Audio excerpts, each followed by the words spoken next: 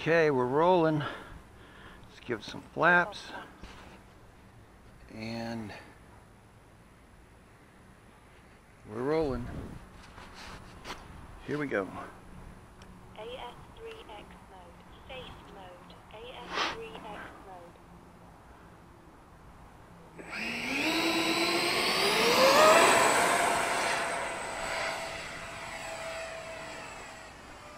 She's off.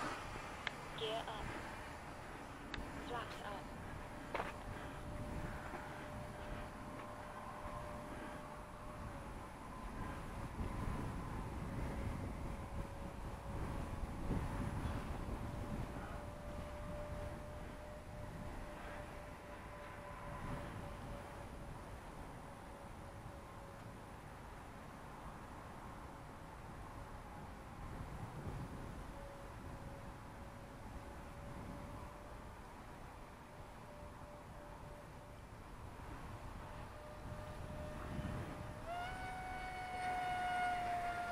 Takeoff flaps. Go. Safe mode.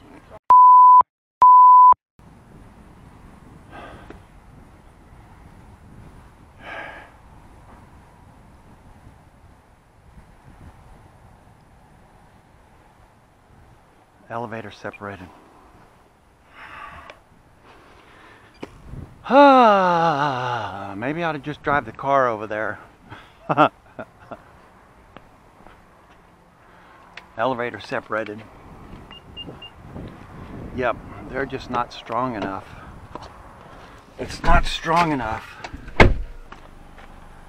Fuck, look at this. This thing is totally destroyed. Totally. Totally. Look at this. It just obliterated it.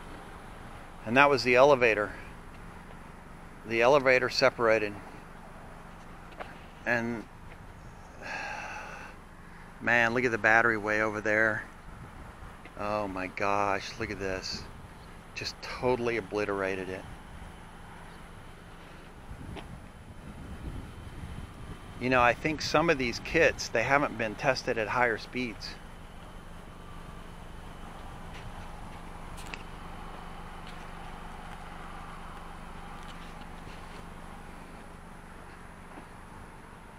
Look at this. Totally obliterated that thing.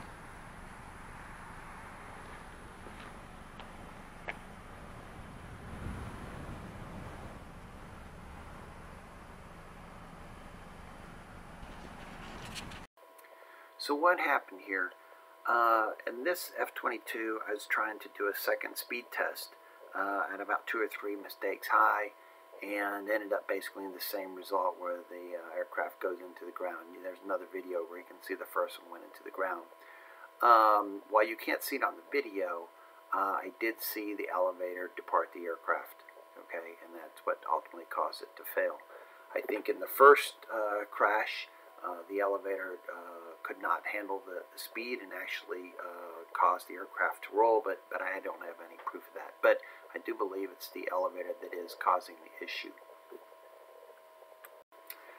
When I built both of these F-22s, uh, I chose to use uh, in-runner motors with 80 amp ESCs.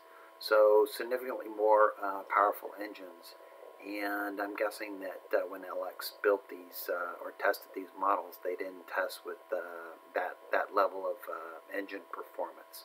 So um, I guess it's kind of to be expected that uh, potentially you could have a airframe uh, failure at much higher speeds than what they originally tested. So here you see the construction of the the elevator to the fuselage, and basically there's a plastic swivel piece uh, that is glued to the elevator and it's attached to the fuselage and, and, and, it, and the elevator rotates around that. That, that. that little piece is only about maybe an inch, inch and a half I think long, right? But if you look at the surface area of the, um, the elevator, it's much larger and that piece does not extend very far into that elevator, right?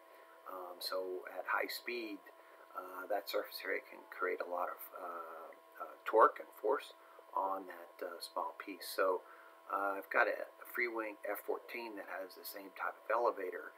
And what they actually did was in that area they inserted a, a plastic box basically into the elevator itself. Uh, and then they inserted the um, a metal rod into that plastic box um, to to um, you know attach the elevator to the fuselage. But that plastic box is probably uh, two inches by about three inches into the um, into the elevator uh, itself. So uh, significantly more um, uh, rigid mount there than than what's in the LX F22.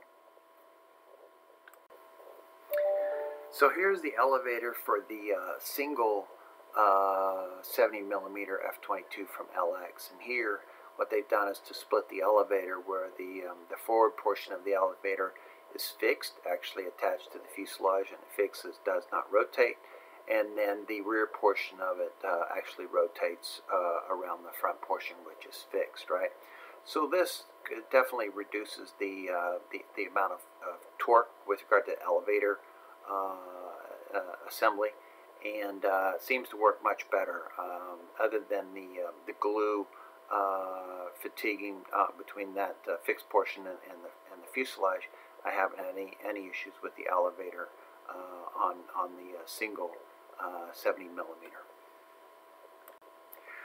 So in the future, if, if I build a, the twin 70 millimeter F22 again, I'm either going to look at taking the uh, F14 approach where I, I uh, insert some type of um, 3D printed box uh, into the elevator itself and then perhaps uh, inserting a metal rod into that uh, and, and keeping the elevator so that the entire thing rotates. Or to take the uh, single 70 millimeter where I'll cut the elevator in half and then the forward half will be uh, fixed into the fuselage and then the, the rear half of the elevator uh, I'll just put some hinges and uh, uh hook the uh, control arm up there.